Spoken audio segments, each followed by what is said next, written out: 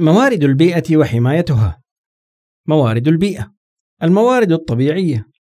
الموارد الطبيعية هي عناصر البيئة والتي نأخذ الفائدة منها والتي تكون ضرورية لحياتنا.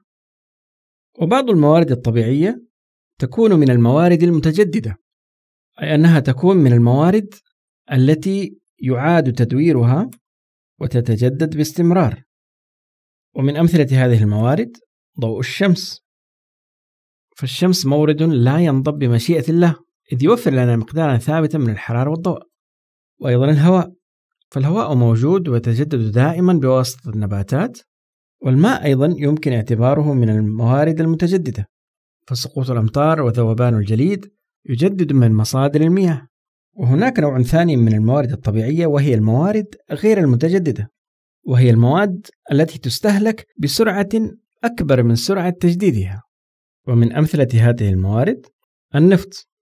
فالنفط يحتاج إلى مئات ملايين السنين ليتم تجديده. وأيضا تعتبر المعادن والفلزات من الموارد غير المتجددة. الوقود الأحفوري من أمثلة الوقود الأحفوري الفحم الحجري والنفط والغاز الطبيعي. والوقود الأحفوري كما رأينا يحتاج إلى مئات ملايين من السنين لكي يتكون. إذا يجب علينا المحافظة على الوقود الأحفوري لأنه مورد طبيعي غير متجدد. لذا عند استخدامه بدون المحافظة عليه فإن هذا يؤدي إلى ازدياد سعره. كما قد يؤدي استخدامه إلى مشكلات بيئية. فاستخراجه يؤدي إلى إزالة طبقات كبيرة من التربة والصخور مما يؤدي إلى تدمير النظام البيئي.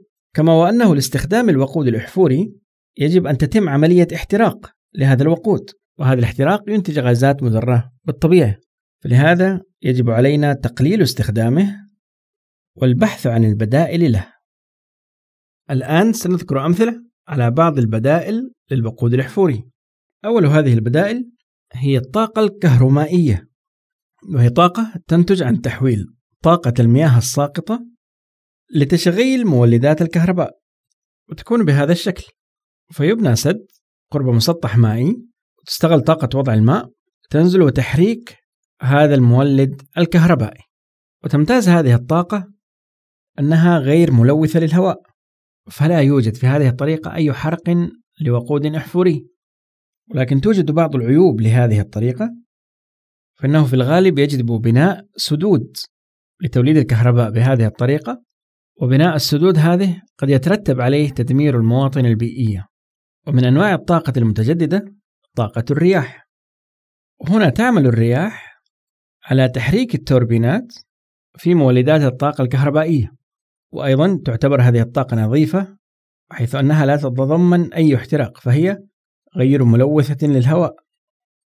لكن من عيوبها أنه يجب أن تكون هناك رياح وعلى الأقل سرعتها 32 كيلو متر في الساعة ليتم توليد الكهرباء بهذه الطريقة.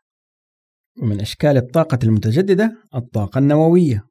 وفي مفاعلات الطاقة النووية يعتمد على انشطار ذرة اليورانيوم لإطلاق كمية هائلة من الطاقة.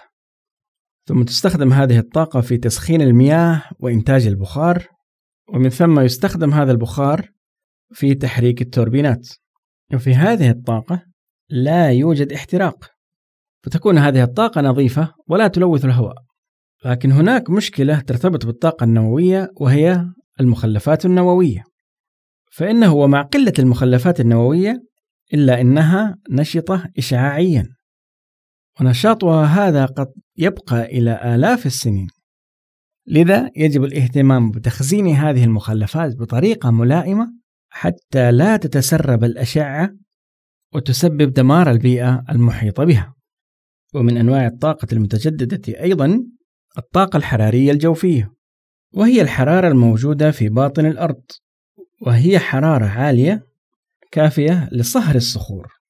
وهذه الصخور المصهورة تكون ما يسمى الخزانات الحرارية الجوفية.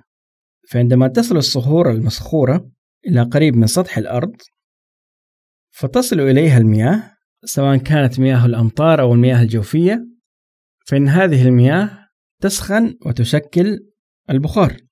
هذا البخار يعلق تحت الضغط العالي في الشقوق أو الفجوات وهذا ما نسميه الخزانات الحرارية الجوفية منشآت الطاقة الجوفية الحرارية.